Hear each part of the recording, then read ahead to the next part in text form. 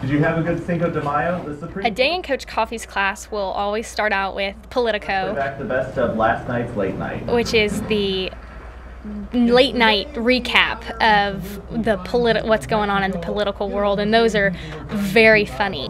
And like most Americans who lost their job, he blames Obama. and I never really understood just kind of all the late night little jokes. I'd be like, yeah, that was a funny joke, but I have no idea what the context was. Putin has signed a new You've got to have so much more background stuff and be up on more things because you don't know what they have seen the night before. Um, Coach Coffey's unique attitude, I call it Chatitude, because I mean he is a Chad, obviously by heart and by name. So everybody's going to give positives, negatives. You should have that stuff out ready to go. So let us do negatives. Socialism. It was always an opinion-based class almost, because there's never any wrong answer um, in terms of your opinion. So you're saying then that the taxes that people pay and the services is a negative for those people? Yes, But everybody gets the benefits, so how's that a negative? it is. It is? All right. Based on their discussions or the questions they bring up within your topic, can really change your topic from second period to third period. So even though you're doing the same thing, each class is just totally different. He actually has his podium on wheels. Yes, go ahead. He just rolls it around to everyone's desk and gets right up in their faces. You can really see him like bounce from like left to right, just moving around like crazy. It always stays respectful, and Coach Coffey is kind of a mediator there because we don't know his political views. Uh, he made that very clear that we would never be able to guess his political views, and uh, that was pretty true. Now, remember, in a communist system, you know, it, just like Eli was saying, The debate process is really fun, and you you learn to um, bring your own thoughts in a concise and clear manner. okay, no, it's all creativity stymied in a socialist system? Define. It rewards. Define stymie? Yes. Limited.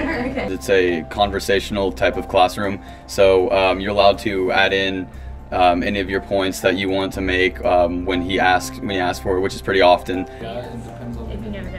So it's all about advancement with Miss teaches Kelly? you how to know what you want and what your thoughts are, but also be open to other people's opinions and and perspectives that you wouldn't necessarily have thought of. Even though I'm one of, you know, 2,100 students at Highland Park, or I'm one of X amount of voters in my precinct or district or state, that they still get excited. You know what? I can have a say in what goes on. He's loud and passionate, and he just gives all, his all to everything he does. Every country's going to have those things, just like capitalism has positives and negatives with it. Communism, negatives. What are they? He's loud. He's a loud teacher, which is good because it gets our attention. Sometimes I'd be like, you know what, I'm tired today. But he'd always still have his loud voice and be smiling the whole time. If it was just this pod of guys, He's I can always hear his voice if I'm walking around the the second floor, and I just know he's giving a good lesson. and then you really have to compete. I've taught the same subject for several years now, but it's still exciting. An adjective for Coach Coffey would be energetic, compassionate, funny, just joyful all the time. He's got his um, sassy but masculine attitude. Our time is up. Thank you all very much. Bye, Coach. Thank you. Congratulations, Coach Coffey. You totally deserve it. I'm so excited for you. Um, have a great next year. Congratulations, Coach Coffey. You really deserved it. I'm glad I got to have you this year as my government teacher. Congrats, Coach Coffey. I'm so excited for you. Keep it up and uh, keep up that chatitude too. Congrats, Coach Coffey. You're the best.